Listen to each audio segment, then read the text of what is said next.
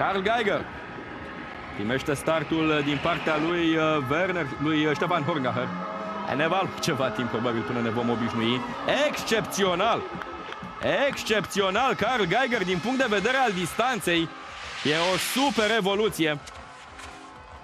133 de metri de departe, cea mai lungă săritură din concurs, cea mai lungă săritură din ședința de calificare. Se oprește cu doar un metru înaintea dimensiunii trambulinei. Totuși uh, departe de recordul lui Ștefan Kraft. Interesant această cască.